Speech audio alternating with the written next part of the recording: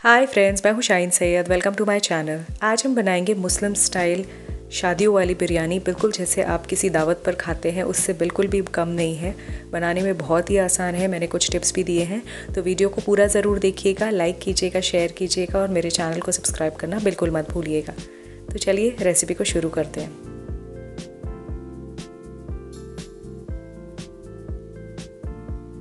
तो सबसे पहले हमने मटन को मैरिनेट कर लेना है। उसके लिए मैंने यहाँ पर 500 ग्राम मटन लिया है। इसको तीन से चार पानी से वॉश कर लिया है। दो टेबलस्पून अदरक और लहसुन का पेस्ट ऐड किया है। एक टेबलस्पून हरी मिर्चों को ग्राइंड करके ऐड किया है। ये मिर्चें ज़्यादा तेज़ नहीं है।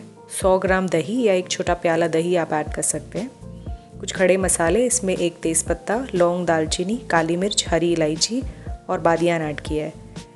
आधा छोटा चम्मच हल्दी, एक चम्मच भर के ज़ीरा पाउडर एक चम्मच काट कर लाल मिर्च का पाउडर। हमने हरी मिर्च ऐड की है, लेकिन लाल मिर्च से टेस्ट अच्छा आता है। और थोड़ा सा मैंने यहाँ पे नमक ऐड किया है, मटन के हिसाब से।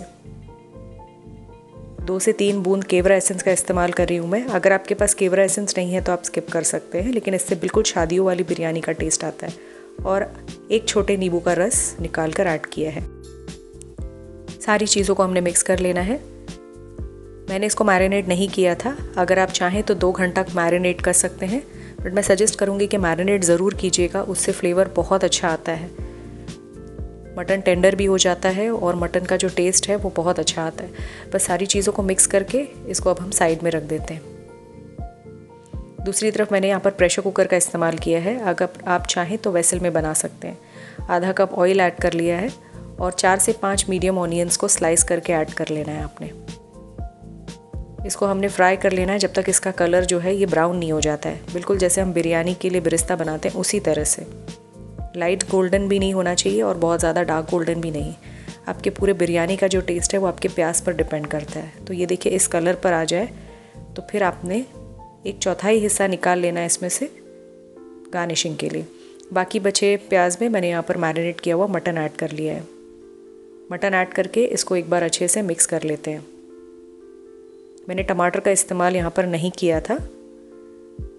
आप चाहे तो एक टमाटर को प्यूरी करके ऐड कर सकते हैं या चॉप करके। थोड़ा सा मैंने एक चौथाई कप पानी ऐड कर लिया है। मटन और दही ने अपना पानी रिलीज़ कर लेना है, इसलिए पानी ज़्यादा ऐड नहीं करेंगे। बस अब हमने प्रेशर कुकर का लेट कवर कर लेना है। एक विसल लगा लेंगे हाई हीट पर और फिर सिमर करके 10 से 12 मिनट। अगर आपका मटन सख्त है तो गलने के लिए थोड़ा टाइम ज़्यादा लगेगा। जब तक वो वहाँ पर कुक हो रहा है तो यहाँ पर मैंने चावलों के लिए पानी उबलने के लिए रख दिया है। नमक आपने इतना ऐड करना है कि चावल में फीका सा ना लगे वो। आप टेस्ट करके चेक कर सकते हैं। पानी को हल्का सॉल्टी लगना चाहिए। एक टेबल स्पून ऑयल ऐड किया है। आप देसी घी ऐड कर सकते हैं और थोड़ा सा कुछ कतरा नींबू का रस, उससे चावल छुट्टे और खिले खिले बन के तैयार होते हैं। गरम मसाले में दो तेज़ पत्ता लौंग, दालचीनी, काली मिर्च, हरी इलायची और बादियान ऐड किया था। तीन से चार हरी मिर्चों को थोड़ा सा स्लेट करके ऐड किया था।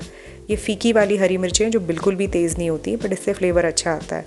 पानी में जब तेज़ उबाल आ जाए, एक मिनट के लिए बॉईल कर लें ताकि मसालों का फ्लेवर उतर जाए, फिर आपने चावल ऐड करना है। चावल को वॉश करके आधा घंटा भिगोया था। दावत का बिरयानी राइस इस्तेमाल कर रही हूँ मैं, जो एक्स्ट्रा लॉन्ग ग्रेन होता है, आपने वही इस्तेमाल करना है। उससे फ्लेवर बहुत अच्छा आता है और वो बहुत अच्छे बन के तैयार होते हैं। यहाँ देखिए, सात मिनट के लिए उबाल लिया है मैंने। और ये रेडी है। इसमें कोई कनी नहीं है 90 परसेंट डन है। बस अब गैस का फ्लेम ऑफ़ करके पानी हमने निथार लेना है और उसको साइड में रख देते हैं। अब यहाँ देखिए प्रेशर कुकर को मैंने खोल लिया है। ये बिल्कुल ठंडा हो गया था। इसकी ग्रेवी सी फॉर्म हो गई है। बहुत ज़्यादा ग्रेवी नहीं है इसमें, इसीलिए मैं इसको बिल्कुल सुखाऊँगी नहीं।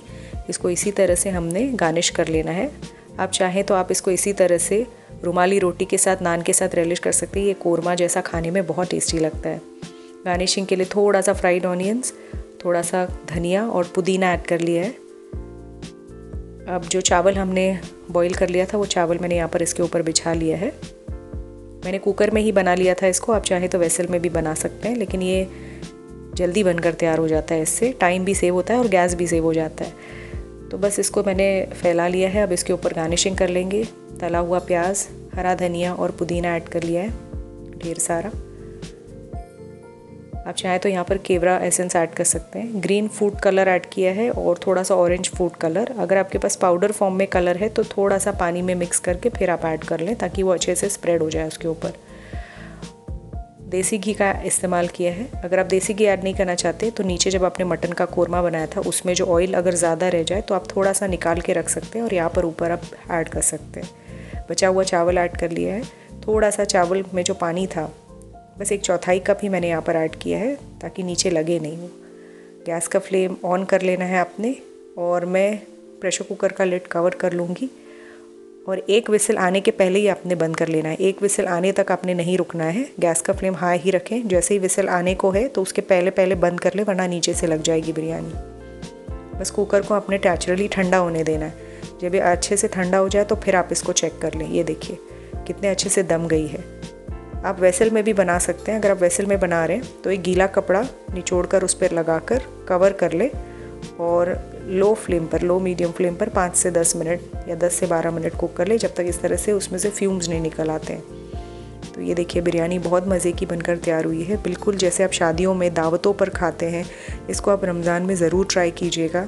बनाने में बहुत आसान है, बहुत ज़्यादा मसालों का इस्तेमाल या ऐसी कोई चीज़ इस्तेमाल नहीं की थी जो आपके घर में अवेलेबल नहीं हो।